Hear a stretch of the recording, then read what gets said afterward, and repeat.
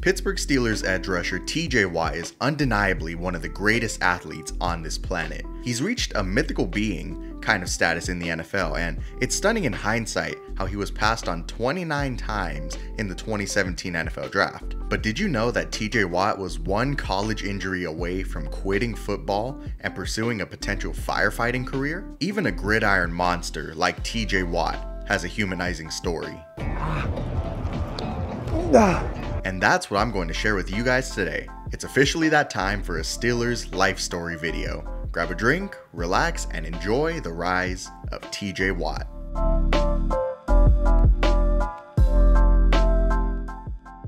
Trent Jordan Watt was born on October 11, 1994 in Pewaukee, Wisconsin to his parents Connie and John Watt. Now I'd say TJ was born into a very genetically gifted family, but that feels like an understatement. You see, he's got these two older brothers. First, there's Derek Watt, who's 6'2, 234 pounds. You probably know him as the former Pittsburgh Steelers fullback.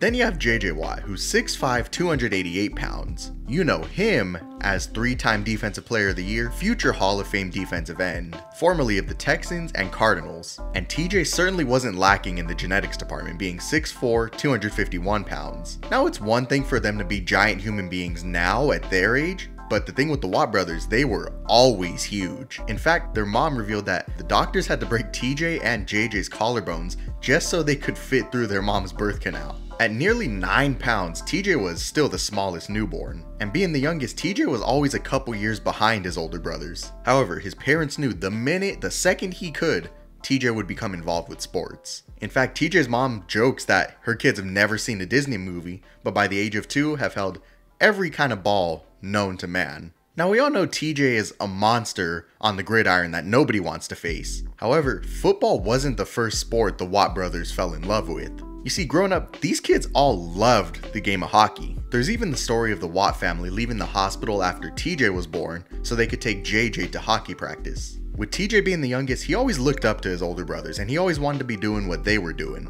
So naturally, as soon as he was old enough, TJ took up hockey and loved it. However, anyone who grew up playing hockey knows how time consuming that can be. TJ said his family was all over the place. There were times where John would be in New York with Derek, Connie would be in Canada with JJ, and TJ would be at home with Grandma and Grandpa. TJ told a story about how he used to resent his parents because when he was 8 he finally made the hockey travel team. And coincidentally that was the same year their family decided to walk away from the sport. The family did love hockey, but they did not love how much the family was separated by hockey. This was very tough on TJ, but honestly, it was a good decision for the family. And hey, with TJ being a star in the NFL now, it all works out. With hockey out of the picture, football became the focus for TJ. Connie says football was TJ and his brother's second love. And John Watt, he played football in college, but even he'll tell you that he didn't love it as much as his sons do. In Pewaukee, 5th grade is the earliest kids are able to play football with helmets and pads on, so that's when TJ started. With the Watt brothers being freaks of nature, these guys had to eat like freaks of nature. And there's some funny and intriguing stories in that department as well. Yeah, they always tell stories about how they would go through multiple gallons of milk per week, but that's easy. Here's an even more interesting story, and this should give you guys an idea of how much these kids ate. Connie Watt told a story saying, the kids would eat a hot breakfast in the morning. I would make them PB&J sandwiches to have as a snack at 10 a.m. By second grade, they were eating double lunches at school. I called the school and said, I don't know who we're feeding, but my bill is reflecting more children than I have. And they said, no, ma'am, your kids are eating double lunch. Connie says, Are they actually eating it? And they told her they were. Then they would come home from school and have a meal, and then at about 8 at night, my husband and I would return to the kitchen and make another full meal for them. They weren't ever having frozen pizza or anything. It was always a big meal at 4 and 8 at night. TJ gave his own perspective on this story. He would go to school and ask the other kids, What'd you have for breakfast? Oh, I had cereal this morning. You didn't get an omelet like I did? Kids, man, they're hilarious. TJ's parents made sure to feed their kids well so they would grow up big and strong. TJ and his brothers would eat breakfast, lunch, and multiple dinners a night. You gotta eat to grow, and that's exactly what happened. With TJ and his brothers all going to the University of Wisconsin, their parents continued to make them meals and even showed them how to cook. This was a very tight knit family. Their parents knew what their kids wanted and needed and did everything in their power to help those kids pursue those goals. However, as tight knit as this family was, there was still obvious age gaps between the brothers. JJ was a little more than 5 years older than TJ. So he was always off doing high school stuff while TJ was still in grade school. TJ says that made him a lot closer with Derek, who's only about two years older than TJ. In grade school, TJ would always play about two years up on Derek's baseball and football teams, forging an even deeper bond between these two brothers. However, make no mistake, the Watt brothers are still super competitive with each other. There's stories of them playing hockey with each other, sticks were flying, things were nearly turning into punches thrown, but this was commonplace for TJ and his brothers. It was all love, just featuring a passionate flame within them. TJ may have been JJ and Derek's little brother, but when he played sports with the bigger kids growing up, John would always tell him, don't go easy on TJ, don't go easy on TJ. And this forced TJ to have to find his own way to gain a competitive advantage over the older kids. Lessons like these were a chisel that carved TJ into the monster he is today. At Pewaukee High School, TJ was a multi-sport athlete playing baseball, basketball, track and field, and the sport we'll be focusing on, football. Now in high school, TJ Watt played only one position. What was that position? Athlete. TJ was a punter, linebacker, tight end, and a quarterback? And he was a dang good football player at each of those positions. After a breakout junior year, the University of Wisconsin offered him a scholarship as a tight end. Following in his brother's footsteps, TJ accepted that offer immediately. What's really interesting is the fact that TJ was primarily a quarterback his senior year of high school, throwing for 527 yards and 7 touchdowns, running for 554 yards and 9 touchdowns, and he also registered 42 tackles and 5 sacks as a linebacker. But no, TJ committed to play for the Wisconsin Badgers as a tight end of all things. With that being said, it actually took TJ quite a while to actually see the field on Saturdays. In 2013, TJ redshirted his freshman year at Wisconsin to fill out his frame, and he spent that year as a scout team tight end where he gave the starting defense a lot of trouble. TJ said he was mossing people at those practices. If anyone has that tape, please send it my way. After the 2013 season, bowl prep began. For those who don't know how it works, today redshirts are only allowed to participate in up to four games in a season,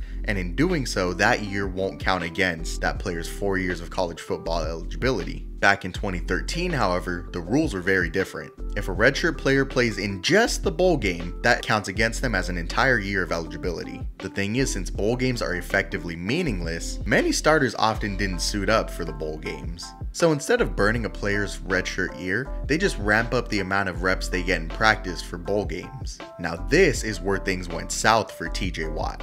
During prep for the 2013 Rose Bowl, TJ was participating in a blocking drill.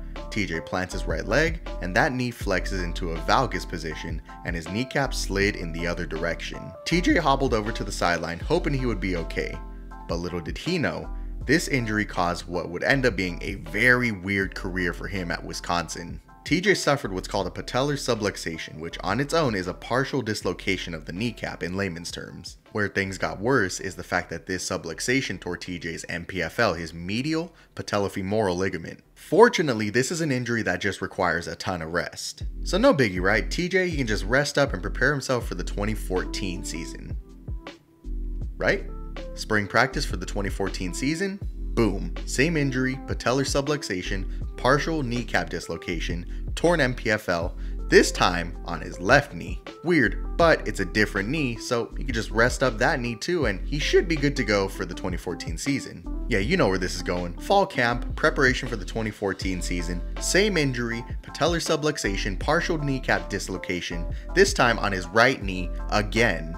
However, this time around, the MPFL he hurt the first time just got torn and even more deteriorated. This time, TJ needed surgery, and the Texans team doctor, Walt Lowe, grafted him a new right MPFL ligament with a cadaver hamstring. And just like that, TJ just lost two years of college football action. He redshirted his 2013 season, and he spent the 2014 season injured. And it was around this time his brother Derek was dealing with a foot injury. So the Watt parents moved to a nearby hotel. They took care of Derek and TJ, took him to rehab, took him to classes, parent stuff. TJ's rehabbing, and guys, you're never gonna guess what happens next. Yeah, you can. Spring practice, preparation for the 2015 season, another blocking drill. He feels his left knee buckle, he recognizes the pain, it's the same exact injury, once again on his left leg. Now, off the cuff, these may just seem like crazy freak injuries, coincidences, but what makes this injury interesting is the fact that after the MPFL is torn the first time, it doesn't heal as strongly as it used to be, which is why recurrent kneecap dislocation occurs in a high percentage of these patients who deal with this injury. So to the more educated eye, the fact that this injury happened twice on each knee isn't really a shock. TJ calls his dad from the stadium. Dad, it happened again. It happened again, Dad. John struggled to find encouraging words to tell TJ that everything would all work out, because, frankly, neither of them knew if everything would work out. TJ got surgery again on his left knee and had to seriously evaluate his future in football. In just two seasons, TJ suffered four injuries total to both his knees. His confidence was crushed, and this just kept on happening. However, there was always one glimmer of hope. If recovery goes well, he could still make it back in time for the 2015 college football season. TJ came to the conclusion that he wasn't going to let knee injuries stop him from pursuing his dream career. At the same time, however, he did consider this his last shot at football. One more serious injury, and the TJ Watt we know and love today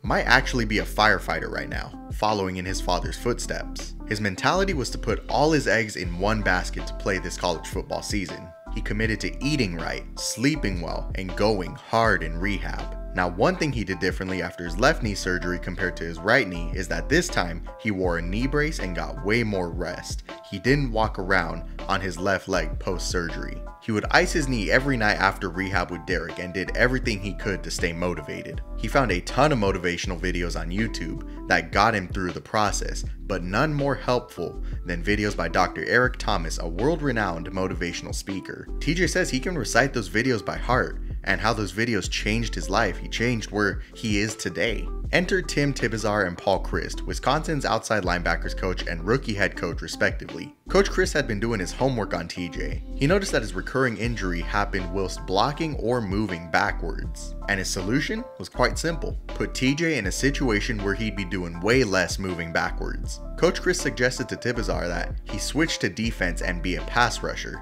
He said if you're gonna have a Watt on your team, it's not a bad idea to have him on defense. However, you gotta understand this isn't Madden, these are humans we're talking about. You gotta know that when you suggest to a player that they switch positions, you run the risk of offending them. What, I'm not good enough to play this position? I'm not good enough to play this position? You want me to play this position? You risk harming your relationship with him, and that's what Paul Chryst was worried about. He consulted with JJ, who also switched from tight end to defense back in college. JJ told Chryst that outside linebacker felt like a perfect fit for TJ, and he explained that, unlike on offense, on defense you have the opportunity to affect the game on every single play. Theoretically, you can get to the ball on every single play, and that philosophy fits with TJ's mentality very well. Coach Chryst bounced the idea off of TJ to switch positions, and initially, it hurt TJ's ego a little bit. What, I'm not good enough to be a tight end? With that said, TJ still asked for the rest of the day to think about this decision. He consulted with his parents and JJ only to find that Chryst had already run that idea past them. They all thought switching positions was a great idea for TJ, so he officially made the switch. Coach Tibesar welcomed TJ to the OLB room, and TJ was excited about the switch, with his only worry being his experience, his lack of experience rather. He told Coach Tibesar, Coach, I don't even know how to get into an outside linebacker's stance, but Tibesar told him, hey, we'll get you there, don't worry. During the Badgers 2015 fall camp, the starters helped TJ get up to speed. Former Steelers and Badgers teammate Joe Schobert said that you could tell TJ was catching on really quickly. It was going to take reps, but he had the tools and he'd be a force if kept progressing. The 2015 college football season began and TJ finally saw his first college football action. On kick return, Week after week, however, TJ continued to make impact plays on special teams and practice, and the coaches took notice to this. Derek and Coach Chryst were standing together on a sideline during a September game where they watched TJ make a huge tackle. Derek cheered, and Coach Chryst was thinking to himself that, hey, this TJ kid should be playing more. TJ was making plays, and he looked at home. Towards the end of the season, Badgers defensive coordinator Dave Aranda installed a 2-4-5 defensive scheme called the Cheetah Package. This means 5 DBs, 4 linebackers, and 2 down linemen. The goal of this package was to get all of Wisconsin's best pass rushers on the field for possession downs. And this package also included TJ as one of those down linemen, and he did very well. He saw more snaps at OLB when a starting outside linebacker had to replace an injured middle linebacker, pushing TJ outside. TJ played a role in Wisconsin being the nation's number one scoring defense, allowing only 13.7 points per game. During the offseason, JJ came down and spent hours among hours with TJ, sharing everything he knows regarding watching tape. Growing up, TJ was always in JJ's shadow, and he hated it. Oh, I'm not JJ, don't call me JJ, don't treat me like JJ. As TJ got older, however, he became way more mature and understood how valuable of a resource it is to have JJ frickin' Watt available to you at your discretion. TJ eventually accepted JJ as a mentor figure, and that's when TJ began to put it all together as a pass rusher. TJ's 2016 season at Wisconsin was as dominant as JJ's was, putting up 63 total tackles, 11 and a half sacks, 2 forced fumbles, 4 pass defenses, a pick 6, and a win over Western Michigan in the Cotton Bowl. TJ was primed to go to the NFL, but he wasn't expected to go on day 1 due to his lengthy injury history and having only been a starter for one year in college. The 2017 NFL Draft arrives, and he was selected by the Pittsburgh Steelers 30th overall. This was a pretty good fit for TJ as the Steelers run a defensive scheme similar to Wisconsin. With that said, TJ had some serious competition ahead of him to see some playing time. Who was that competition? Oh, it's only James Harrison, you know, one of the strongest and most physical pass rushers in NFL history. Shortly before the start of the 2017 season, however, TJ was named the starting right outside linebacker across Bud Dupree, demoting the Steelers legend James Harrison to a relief pitcher role. He was the first Steelers rookie in 29 years to start at outside linebacker, and after naming TJ the starter, they never looked back. He made an immediate impact on the team in his Steelers debut versus Cleveland in Week 1, recording 7 tackles, 2 sacks, a pass defense, and even an interception. He finished his rookie year with 56 tackles, 7 sacks, 9 pass defenses, a block kick, a forced fumble, and a pick. He had a very promising rookie season. Before 2018, however, the Steelers, TJ, and Bud Dupree all agreed that it's probably best the two players swap sides, TJ returned to left outside linebacker, the position he dominated at in college. And that's when TJ really started to dominate in the NFL. He became the Steelers defense. Literally, the Steelers are only 1 in 10 when TJ isn't on the field. This defense revolves around the ability of TJ Watt. Ever since that position change, TJ Watt has gotten better and better and better, becoming the, if not one of, the greatest football players on this planet. In 2020, TJ was snubbed for the Defensive Player of the Year award, and 2021 is when he showed why that was a mistake. Due to contract negotiations, TJ exercised his leverage to play more of a coach's role during the offseason. He didn't want to get himself hurt in practice before getting his big payday. His agents wanted him to ask for more money, but TJ made a business decision and he and the Steelers came to a four year, $112 million contract agreement, cementing himself as the highest paid defender at the time. And TJ, after not practicing at all during the offseason, rewarded the Steelers finally. In less than 15 games, he recorded 64 tackles, 5 forced fumbles, 3 fumble recoveries, 7 pass defenses, 11 stuffs, and tying Michael Strahan's sack record, recording a league leading 22 and a half sacks. Many would argue he actually had that 23 and a half sacks and the broken record, but the NFL considers his 23rd sack as just a tackle due to it coming after an aborted play. Now, stats are one thing, but when you watch TJ on the field, he was single handedly changing the outcomes of games. TJ had a monster 2021 season, finally earning that Defensive Player of the Year honor. It's still a little too soon to say for certain, but if he continues to produce the way he does, all signs point to him eventually making his way into the Pro Football Hall of Fame. Shortly before his fourth knee surgery at Wisconsin, TJ grabbed a notebook and wrote down some huge goals. Bulk up to 250 pounds, run a sub 47 40 yard dash, be named first team All Big Ten, get drafted in the first round, and he accomplished all of those goals. Now that's already awesome and inspiring, but in that same notebook, he wrote something that's way more moving than any of that. And what was it he wrote? In big block letters, he wrote, Why not me?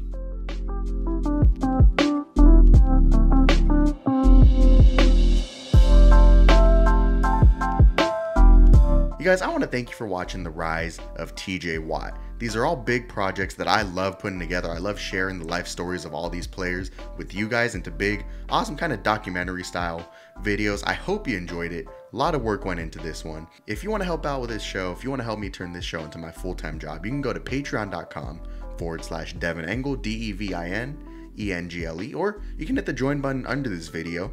Both of those you can join for as little as a dollar a month.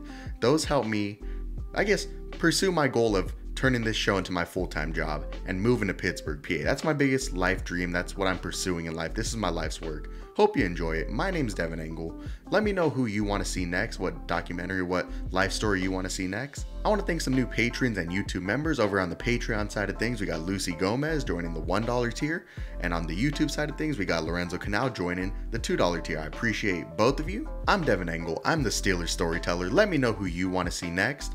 I love you. I appreciate you. Hope you have a good one. Here we go.